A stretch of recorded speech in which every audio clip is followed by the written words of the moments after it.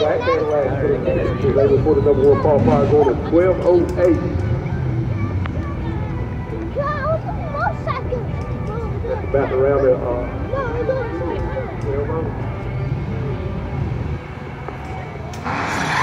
Oh shit!